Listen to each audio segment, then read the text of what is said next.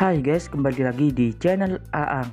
Di video kali ini saya akan membahas bagaimana cara tarik saldo emas atau mencairkan saldo emas di aplikasi penggadaian. Caranya cukup mudah. Buat kalian yang masih belum subscribe silahkan di subscribe ya guys dan jangan lupa tinggalkan like dan komentar. Langsung saja kita buka aplikasi penggadaiannya.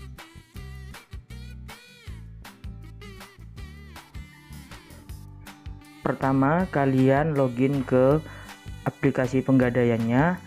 Di sini saldo emas saya sekitar 4 gram ya, guys.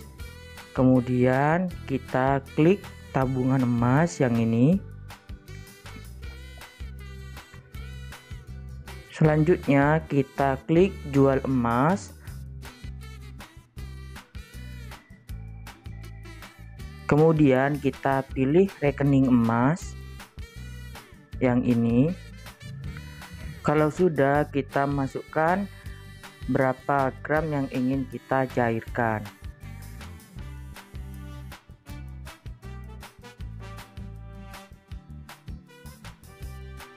Nah, punya saya mau saya cairkan 3 gram, 9770.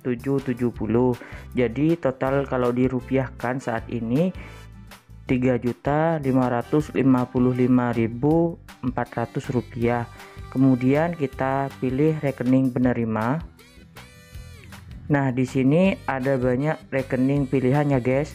Jadi ada Gcash sama rekening bank. Berhubung saya ingin mencairkan ke rekening Gcash jadi otomatis uangnya akan masuk ke Gcash. Kalau kita ingin mencairkan ke rekening bank otomatis nanti saldonya akan langsung masuk ke rekening bank. Saya pilih bank BNI selanjutnya kita pilih setuju. Berikutnya kita klik selanjutnya Nah, di sini ada keterangan guys, pencairan ke rekening Gcash tidak dapat dilanjutkan. Mohon menghubungi CS. Jadi, berhubung ada kendala, kita ubah pencairannya ke rekening bank langsung. Kita klik, saya pilih Bank BNI. Kemudian kita klik selanjutnya. Nah, di sini detail lengkapnya bisa kita baca ya, guys biaya admin gratis. Kemudian kita proses jual. Kita klik. Kemudian kita masukkan pin penggadaiannya. Nah di sini sudah berhasil. Tinggal kita cek di akun mobil banking BNI nya atau langsung pergi ke ATM kalian tinggal cek Gampang bukan? Buat kalian yang masih belum subscribe silahkan di subscribe ya guys dan jangan lupa tinggalkan like dan komentar.